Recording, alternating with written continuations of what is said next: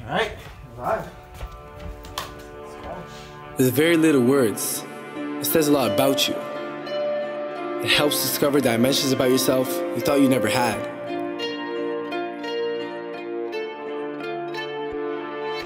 It's integrated with a culture that can be shared and understood by different people.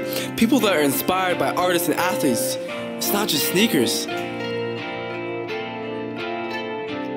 It's an addictive lifestyle filled with excitement we love and hate at the same time.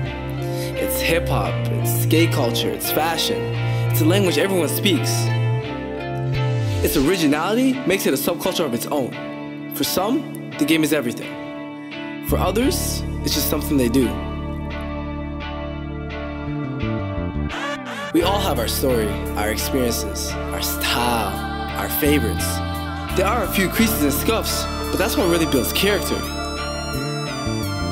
See, the thing is, the game is not only for the main players, it's for everyone on your team. It's for the people on the sidelines, the spectators. I mean, after all, we're all made to be unique. No two souls have the same purpose, and we're all trying to find out what ours is. We are Sole searching. Sole searching. Sole searching. Sole searching. Sole searching. Sole searching. Sole searching. Sole searching. Sole searching. Sole searching.